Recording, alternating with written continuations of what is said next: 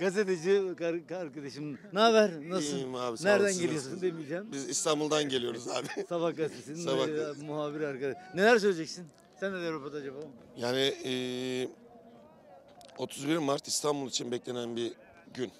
Gerçekten İstanbul'un geçmiş bir son Aslında beş Türkiye yıl- için önemli.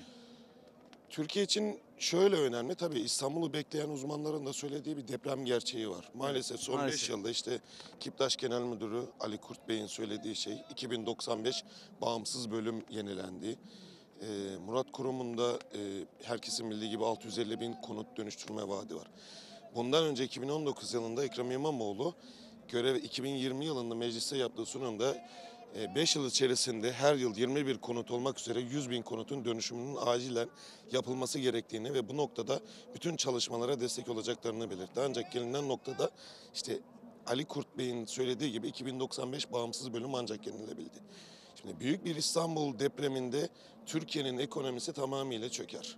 O herkes tarafından bilinen bir şey. Yani bir 5 yıl kaybetti İstanbul. İstanbul bir beş yıl değil yani İstanbul aslında yapılmayan çalışmalarla beraber e, duran bir süreç içerisinde İstanbul metropol bir şehir, yaşayan bir şehir.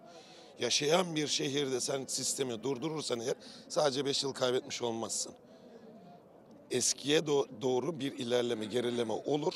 20 yıl kaybetmiş sayarız yani işte. Ve Murat Kurum'uz zor bir süreç bekliyor. 31 Mart'ta seçimi kazandıktan sonra zor bir süreç bek- bekliyor. İnşallah herkes gibi, her İstanbullu gibi biz de umutluyuz.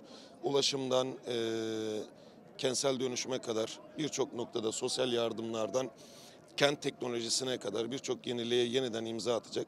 AK Parti belediyeciliğiyle, hizmet belediyeciliği, belediye, belediyeciliğiyle İstanbul'u yeniden inşallah tanıştıracak. Evet, e, Barış Savaş kardeşim gazeteci, Sabah gazetesinin muhabiri, belediye muhabiri.